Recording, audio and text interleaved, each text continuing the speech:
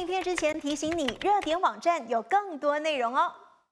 雪州八生光华读中呢，每年都会举办新春庙会，其中最壮观的场面呢，就是上千名学生一起参与的千人挥春环节。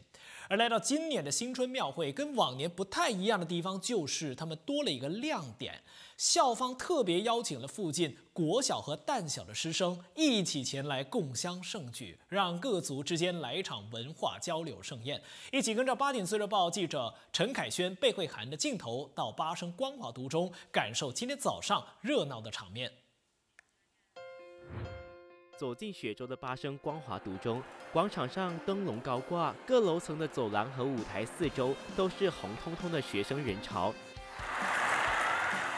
这时，掌声响起，一群印裔和马来小学生陆续走进会场。原来，这五十名的有族小孩是今天的活动的特别嘉宾。有别于往年，校方今年是第一次邀请了附近的国小和淡小的学生来参与新春活动，希望借此来促进各族间的文化交流。这是我们第一年邀请他们来参加我们的新春庙会跟归春。往年我们都有去跟他们拜年。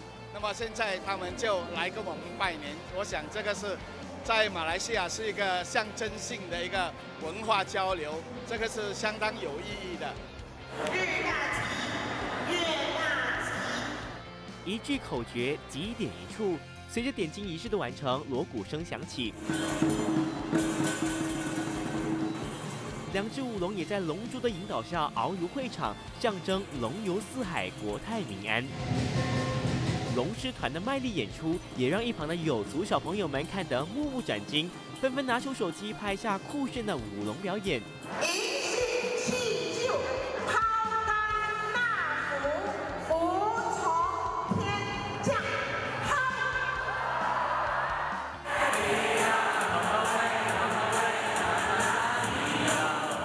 来到抛竿环节和新年歌大合唱，小朋友们虽然是听不懂，但语言并不是一道隔阂。在哥哥姐姐们的带领下，他们依旧积极参与活动，场面十分热闹。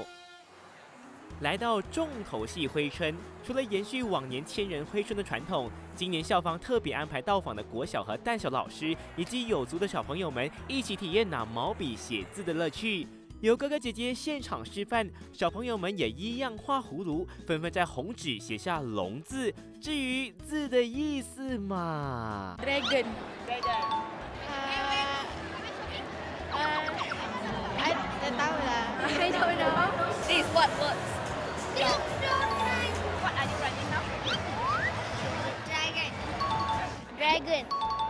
看着大家积极学习挥春，玩得很开心。戴律老师也感到非常欣慰，可以让学生们从小就接触不同族群的文化，尝试新的技能。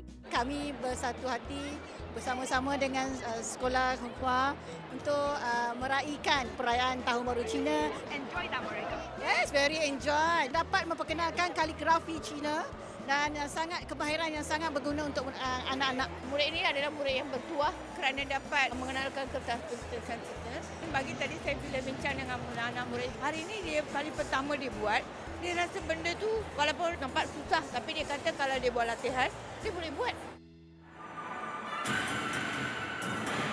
华乐团、民俗舞蹈、舞狮等等的中华文化传统，在八声光华读中百花齐放。 活动也为各族打开了文化交流的一扇大门，为促进族群和谐贡献了小小的力量。